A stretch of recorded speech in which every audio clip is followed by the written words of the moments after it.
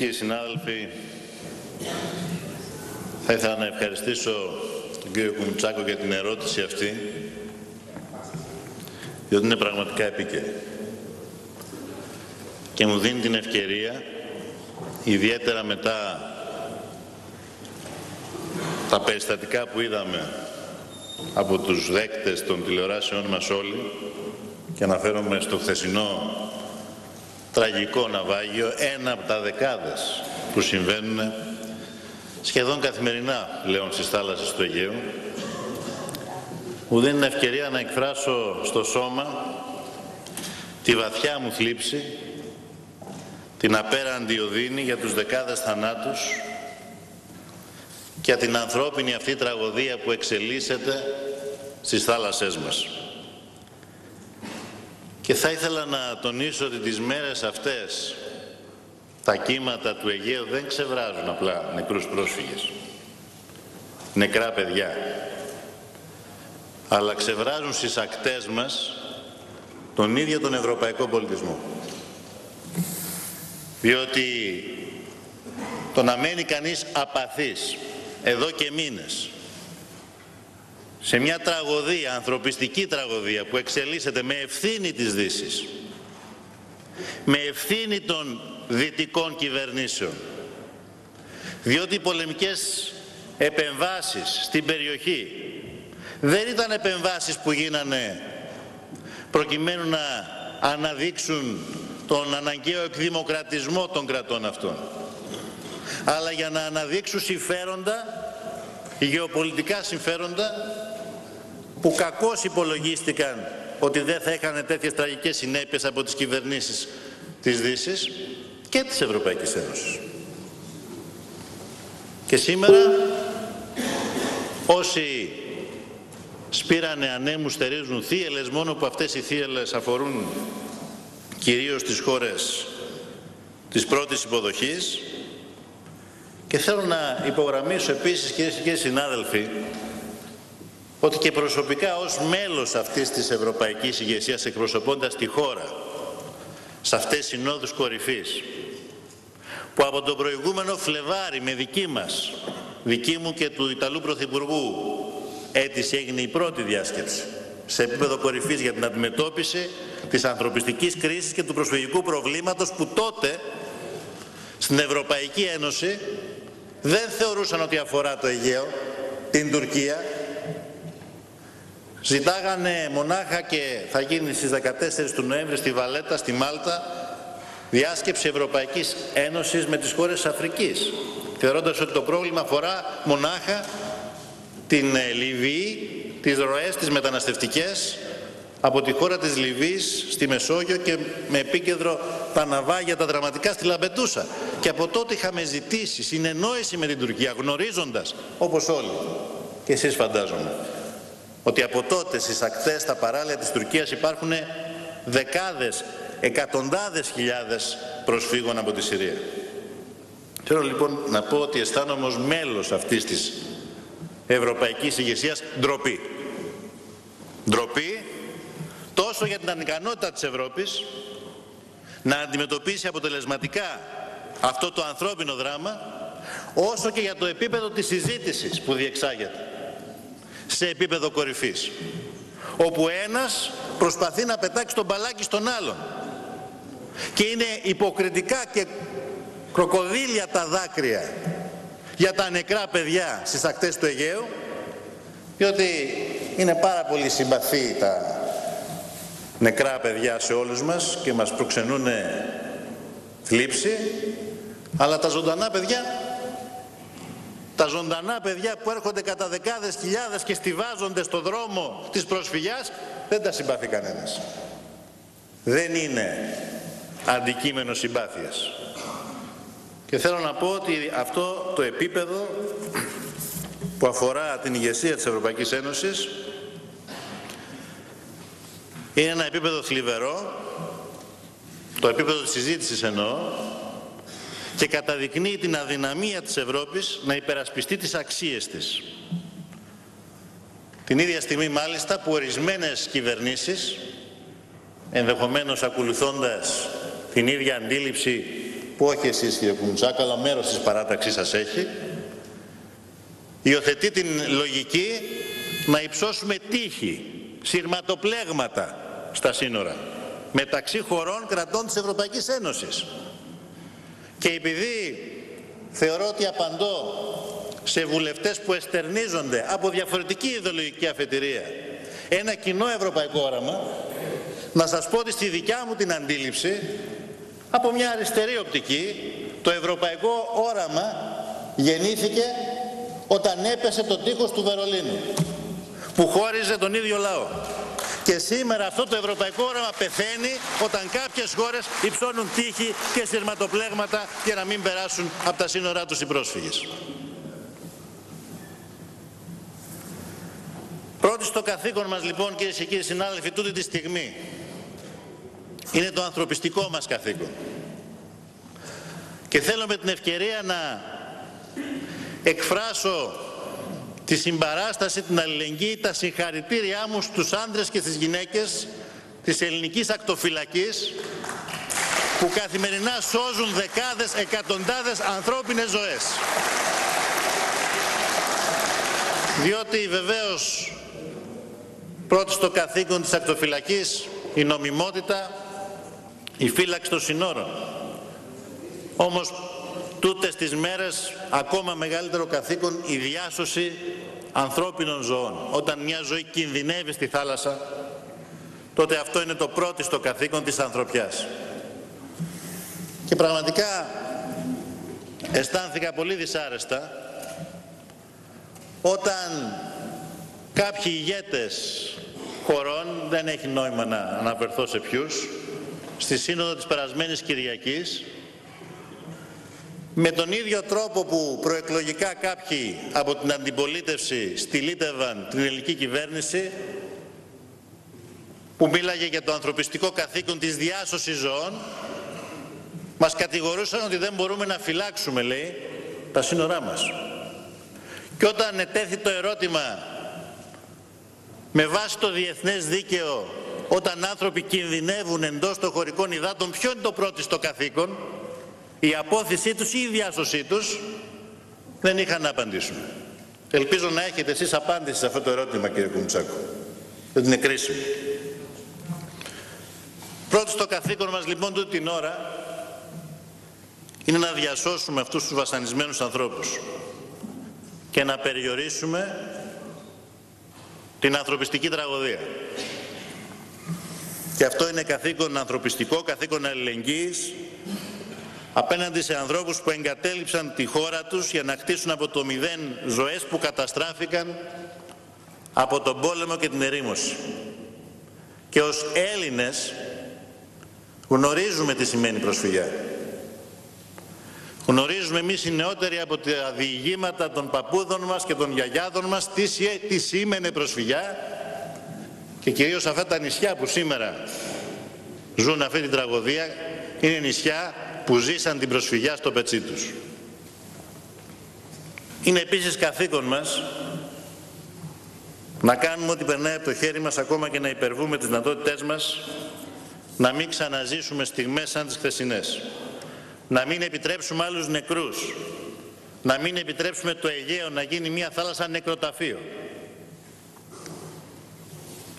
Και για να μπορέσουμε να υπηρετήσουμε αυτό το καθήκον, είναι ανάγκη σε ευρωπαϊκό επίπεδο να κρατήσουμε μια στάση υπευθυνότητας, μια στάση που συνάδει με τις αξίες της Ευρώπης που τίνει να τις χάσει. Και πολύ περισσότερο είναι ανάγκη να μην πυροδοτούμε φοβικά αντανακλαστικά απέναντι στις προσφυγικές ροές και να αποφεύγουμε την κινδυνολογία, να απομονώνουμε διαρκώς τις ακραίες και ρατσιστικές φωνές τόσο στην Ευρώπη όσο και στην Ελλάδα. Δεν είναι ένα ζήτημα το οποίο προσφέρεται για ασκήσεις αντιπολιτευτικής ρητορικής. Είναι ένα ζήτημα το οποίο μας υπερβαίνει και πρέπει να το αντιμετωπίσουμε και θέτει και υπαρξιακά ζητήματα για όλες τις δυτικές κοινωνίες, όχι μόνο για την ελληνική. Κύριε Κουντσάκο, Γνωρίζουμε πολύ καλά ποιες είναι οι προκλήσεις και οι κίνδυνοι στη διαχείριση της προσφυγικής κρίσης. Αλλά γνωρίζουμε επίσης καλά ότι δεν μπορούμε να τη διαχειριστούμε αποτελεσματικά αν επιλέξουμε μια στάση φοβική και αμυντική. Δεν μπορούμε να τη διαχειριστούμε αποτελεσματικά ως χώρα και ως κοινωνία αν επιλέξουμε να κλειστούμε στο καβούκι μας και να παριστάνουμε ότι δεν συμβαίνει τίποτα και να ρίχνουμε την ευθύνη στο διπλανό. Δεν μπορούμε να είμαστε χρήσιμοι ούτε στην Ευρώπη, ούτε στους πρόσφυγες, αλλά ούτε και στους Έλληνες πολίτες, αν και εμείς επιλέξουμε όπως άλλοι κάνουν πιο βόρεια στη γειτονιά μας, να παίξουμε απλώς το ρόλο του φρούραρχου της Ευρώπης. Αν επιλέγαμε κάτι τέτοιο, θα δημιουργούσαμε απλώς τις προϋποθέσεις για μια μελλοντική έκρηξη τεραστίων διαστάσεων και ανυπολόγιστου κόστους για την Ελλάδα αλλά και για ολόκληρη την Ευρώπη. Αντιθέτως οφείλουμε και αυτό κάνουμε να υιοθετήσουμε μια στάση ενεργητική και παρεμβατική ώστε να εξηγήσουμε το πρόβλημα στην Ευρώπη καθώς πολλές χώρες θεωρούν ότι δεν τις αγγίζει αλλά και για να αντιμετωπίσουμε και να διαχειριστούμε τα ειδικά προβλήματα που εμφανίζονται στην Ελλάδα.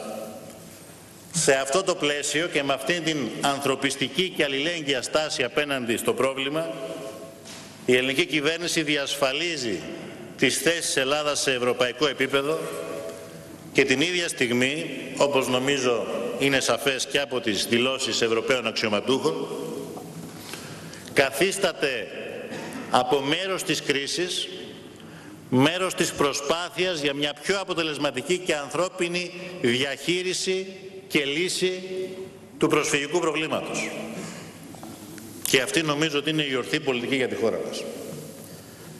Να έχει μια επικοδομητική στάση, να συνεισφέρει με συγκεκριμένες προτάσεις και δράσεις και να παίξει το ρόλο του συνδετικού κρίκου Ευρώπης, Ευρωπαϊκής Ένωσης και Τουρκίας.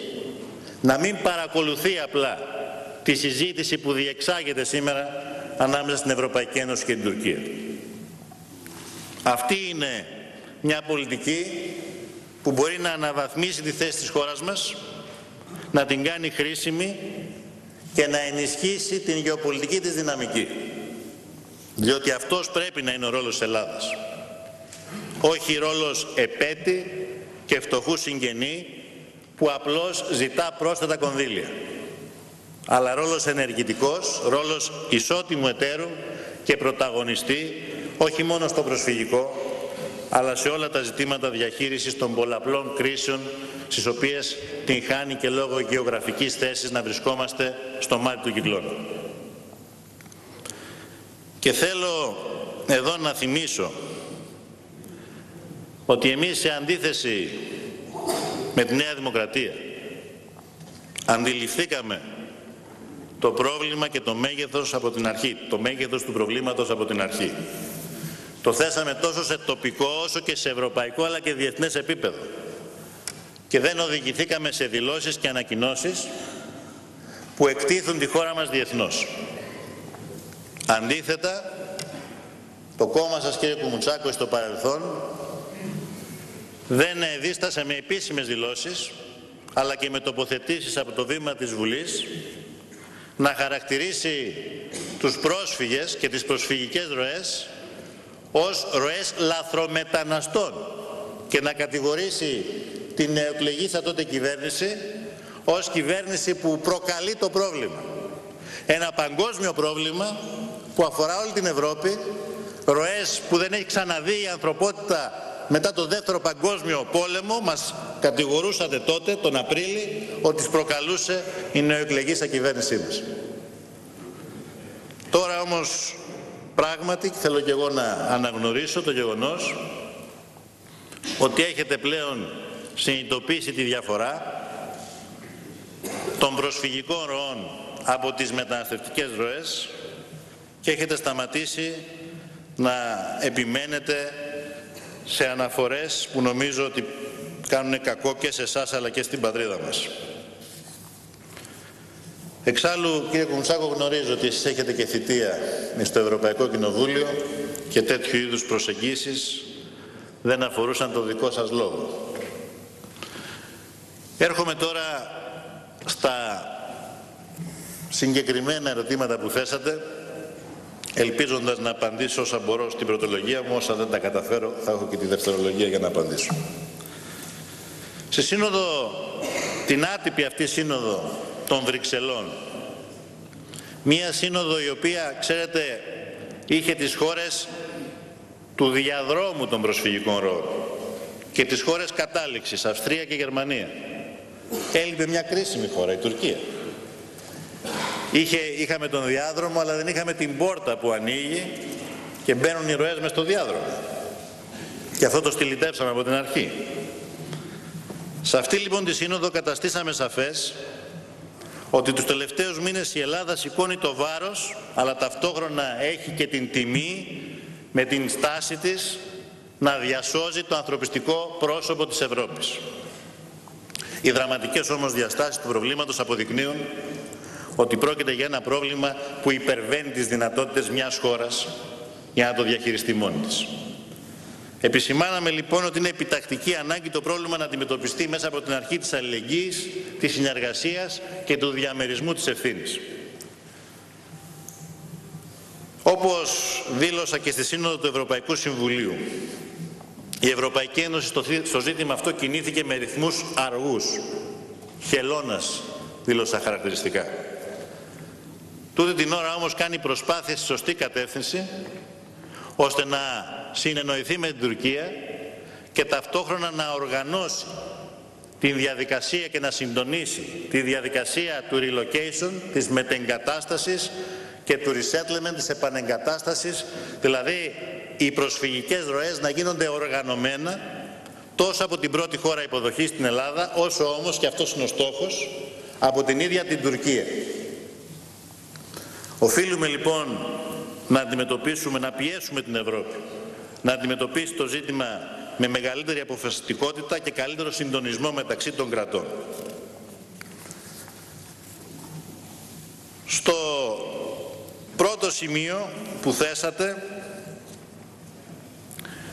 και αφορά την ύπαρξη στο αρχικό κείμενο συζήτησης της ε, πρότασης που αφορούσε το να ζητείται η άδεια γειτονικής χώρας για να μεταβούν εκεί πρόσφυγες από μια άλλη χώρα. Αυτή η αναφορά με δική μας έντονη κριτική και πίεση απεσύρθη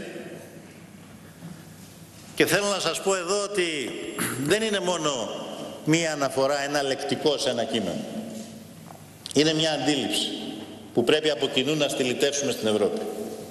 Η Ευρώπη πιέζεται τούτη την ώρα από κυβερνήσεις που υιοθετούν για εσωτερικούς λόγους εξαιτίας των πιέσεων που δέχονται από την κοινή γνώμη την εσωτερική μια στάση φοβική μια στάση που θέλει να πετάξει την ευθύνη στη διπλανή χώρα και αυτή η πίεση μεταφράστηκε λεκτικά σε μία απόφαση που υιοθετούσε την λογική που έλεγε με δύο λόγια ότι σιγά σιγά πρέπει όχι απλά να ελέγχονται οι ροές, αυτό είναι θεμητό, αλλά να αρχίσουν να αποκλείονται οι ροές.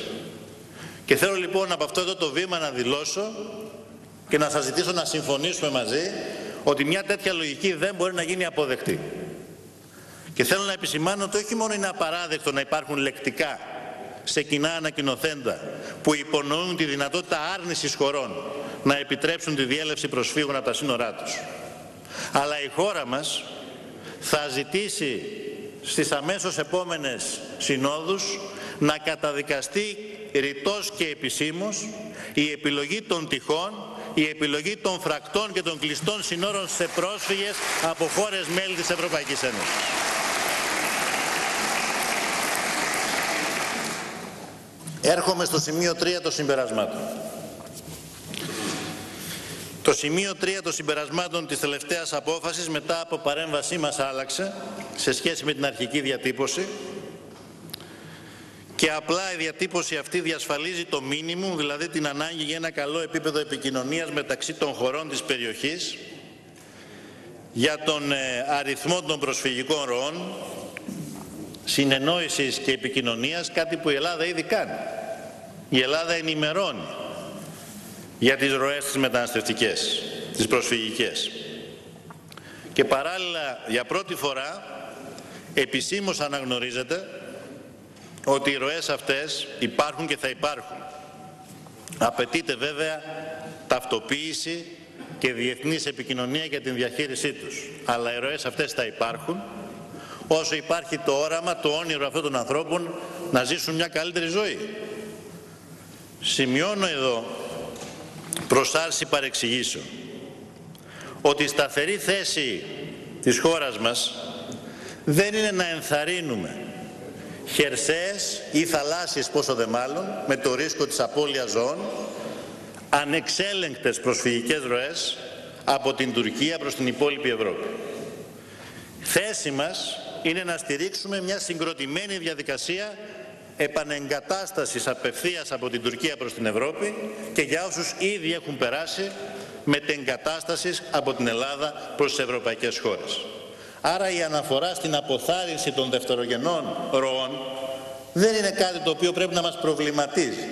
Δευτερογενείς ροές λοιπόν θα πρέπει να αποθαρρύνονται ακριβώς για το λόγο το ότι εμείς δεν θέλουμε αυτοί οι άνθρωποι να ταλαιπωρούνται με κίνδυνο να χάσουν τη ζωή τους να πνιγούν στο Αιγαίο, ούτε να περνάνε μέσα από αυτές τις κακουχίες με ποδαρόδρομο στα σύνορα, μέσα στα χιόνια και στο κρύο. Θέλουμε η μετεγκατάστασή τους να γίνεται συντονισμένα και με νόμιμο τρόπο.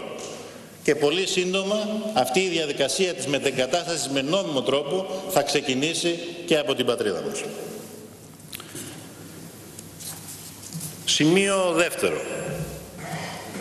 Στη δήλωσή μου μετά τη Σύνοδο Κορυφής είπα ότι αποτρέψαμε τη δημιουργία μιας ολόκληρης πόλης 50.000 προσφύγων. Κοιτάξτε, δεν αναφέρθηκα εγώ στο κείμενο του Σπίγκερ, όπως αναφερθήκατε εσείς σαν δημοσίευμα. Δεν ξέρω από πού εσείς έχετε εσωτερική ενημέρωση για όσα διεξάγονται στις συζητήσεις και κλεισμένων των θυρών θα σας προέτρεπα να απευθυνθείτε και να ρωτήσετε τον Έλληνα Επίτροπο, ο οποίος ήταν παρόν, τον κύριο Αβραμόπουλο. Υπήρχε το αίτημα αυτό, κύριε Κουμψάκο. Δεν υπήρχε, αν θέλετε, με τον πιο επίσημο τρόπο, αλλά επειδή είστε γνώσεις των διαδικασιών, γνωρίζετε ότι τα πιο επικίνδυνα πράγματα δεν τίθονται με τον πιο επίσημο τρόπο και ότι ο διάβολος πολλές φορές κρύβεται στις λεπτομέρειες. Υπήρχε λοιπόν αυτό το αίτημα από την ε, πλευρά εταίρων στη λογική ότι με αυτόν τον τρόπο θα βοηθηθεί η διαδικασία της μετεγκατάστασης. Να δημιουργηθεί ένα κέντρο, εγώ θα το ονόμαζα υπερστρατόπεδο προσφύγων,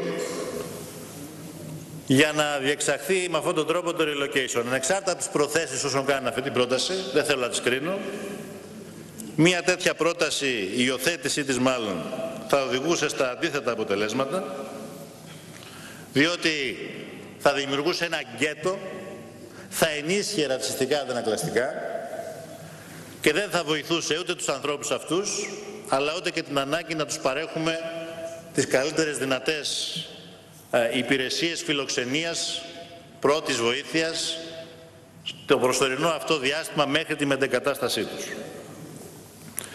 Επιτρέψτε μου σε αυτό το σημείο να τονίσω ότι η υποχρέωση που αναλάβαμε για αύξηση της χωρητικότητας των κέντρων υποδοχής είναι κάτι το απολύτως εύλογο και θετικό και εμείς θέλουμε και πρέπει να θέλουμε να υλοποιηθεί το συντομότερο δυνατό.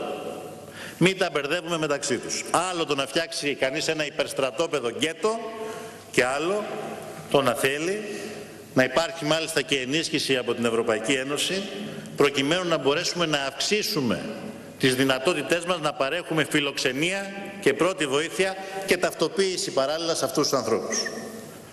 Πρώτα απ' όλα, οι θέσεις αυτές πρέπει να σας πω δεν είναι θέσεις μόνιμα διαμενόντων. Είναι προσωρινές θέσεις. Τόσο στα πέντε νησιά, το maximum της παραμονής προσφύγων στα λεγόμενα hot spots, έτσι τα ονομάσαν κακό, σε πάση περιπτώσει, στα κέντρα υποδοχής, θα είναι maximum τρεις μέρες.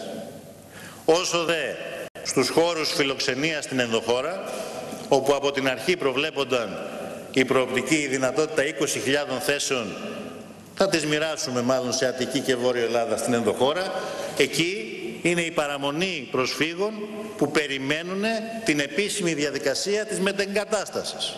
Και άρα και εκεί η παραμονή δεν μπορεί να υπερβαίνει το μάξιμο τους δύο μήνες. Δεύτερον, θα ήθελα να επισημάνω ότι είναι θετικό να αυξήσουμε τις θέσεις στα κέντρα υποδοχής διότι μόνο έτσι θα μπορέσουμε γρήγορα να υλοποιήσουμε το πρόγραμμα μετεγκατάστασης 66.000 προσφύγων στην Ευρώπη που έχουμε συμφωνήσει στις προηγούμενες Ευρωπαϊκές Συνόδους και τέλος είναι σημαντικό γιατί μόνο έτσι μπορούμε να διαχειριστούμε αυτές τις ροές στις δύσκολες συνθήκες που έρχονται μέσα στο βαρύ χειμώνα. Συμφωνήσαμε λοιπόν απολύτως κυρίες και κύριοι συνάδελφοι με την πρόταση της Ευρωπαϊκής Ένωσης να μας στηρίξει άμεσα με χρηματοδοτική βοήθεια όπως αναφέρεται και στο άρθρο 5 της, ε, του ανακοινοθέντος ως προϋπόθεση αλλά για να κάνουμε τι; Ακριβώς αυτό που από την αρχή σχεδιάζαμε ο Υπουργός και το Υπουργείο Μεταναστευτικής Πολιτικής μαζί με την ύπαρτη αρμοστία. 7 με 8 χιλιάδες θέσεις στα πέντε νησιά, στα κέντρα πρώτης υποδοχής και κέντρα συνολικής χωρητικότητας 20.000 ατόμων στην ενδοχώρα. Και αντί για την ιδέα ενός υπερστρατοπέδου προσφύγων, προτείναμε και υιοθετήθηκε η ιδέα μελλοντικά, δεν έχουμε υποχρέωση αυτό να το υλοποιήσουμε ως τέλος του χρόνου, να επιδοτηθεί ενίκιο σε ελληνικές οικογένειες, ώστε να μπορέσουν να φιλοξενηθούν και εκεί προσωρινά περί, των, περί τις 20.000 προσφύγων. Όπως έχει καταστεί σαφές και αυτοί οι πρόσφυγες θα είναι διαθέσιμοι για μετεκατάσταση και αυτοί που θα διαμένουν σε επιδοτούμενα ενίκια, όπως τονίζει, αλλά όπως τονίζει η ύπατη αρμοστία, το μέτρο αυτό επιτρέπει την φιλοξενία αυτών των ανθρώπων σε πολύ καλύτερες συνθήκες και ταυτόχρονα θα δώσει και τη δυνατότητα έστω ενός μικρού αλλά σημαντικού ωφέλους στις ελληνικές οικογένειες που θα επιδοτηθούν προκειμένου να φιλοξενήσουν πρόσφυγες σε ενοικιαζόμενα δωμάτια.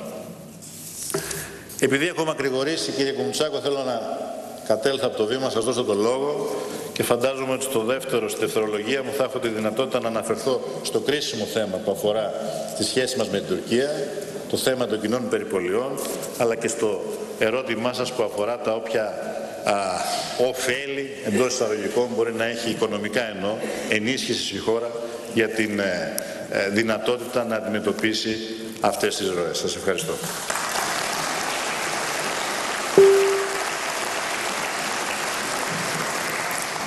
Ευχαριστούμε